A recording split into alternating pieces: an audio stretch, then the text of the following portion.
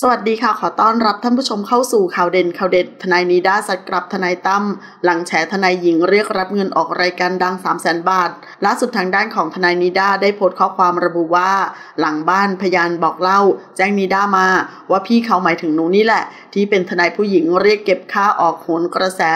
ครั้งละ3 0 0แสนบาท เน้นเปิดไม่เน้นปิด เน้นทิ้งบอม เน้นฟังเขาเล่ามา เน้นผมได้ยินมาว่าหลายเคสแล้วนะ แถลงข่าวแต่ละครั้งไม่เคยไม่กระทบคนอื่นเพื่อสร้างความชอบธรรมให้ตัวเอง นิด้าเคยศรัทธาพี่นะคะ นิด้าไม่เคยเป็นศัตรูกับพี่ด้วย นอกจากเราเคยเป็นทนายฝ่ายตรงข้ามกันให้กับลูกความ ซึ่งก็ไม่น่าจะเป็นเรื่องที่ทำให้พี่มาโกรธเกลียดหนูได้ ก็จำได้ว่าเราไม่เคยมีปัญหาอะไรกันด้วย พี่รังแกหนูทำไมก่อน วันนี้ประจักษ์แจ้งแล้วว่า พี่ไม่มีความเป็นลูกผู้ชายเลย พี่ฟังเขาว่าแล้วมาพูดให้ใครสักคนบนโลกนี้ได้รับความเสียหายได้ยังไงก่อน เสียจุย้ยแฮชแท็กทนายนิด้าแฮชแท็กทนายหญิงสายลุย